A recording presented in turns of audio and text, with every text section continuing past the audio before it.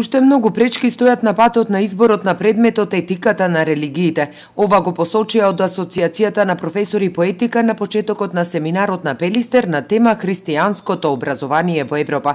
Етиката на религиите е изборен предмет во шесто одделение, но од Асоциацијата посочуваат дека доколку е задолжителен, придобивките ќе бидат многу поголеми го предаваат неадекватни професори во некои општини, односно кои што немаат богословско образование, потоа често се случува да се фингираат анкетните листови околу изборот на нели на овој предмет, со цел да се дојде до тоа дека нема интерес, па да се даде предметот нели на на други лица.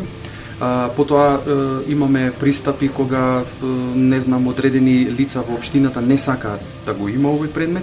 Треба нашето општество, владата и парламентот и сите да се заложат што е можно поскоро, како што е тоа во Романија, како што е тоа во Босна и Херцеговина и во Република Српска, како што е во Србија и во другите соседни држави, па да таде особено и во Грција, да се воведе веронауката, односно историја на етиката, на религиите, етиката на религиите во основните училишта, па и во средните училишта. На семинарот учествуваа и представници на Бугарската православна црква со цел да се разменат искуства во оваа област.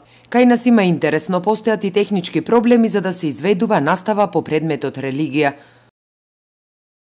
Учеството на овој семинар во Македонија за нас е важно за да размениме искуства и ние се соочуваме со слични проблеми. Тука сакаме да видиме како се работите представени во учебници и какви се македонските искуства. Семинарот траеше два дена, а посебен акцент беше ставен на улогата на црквата за сочувување на традиционалните вредности во општеството.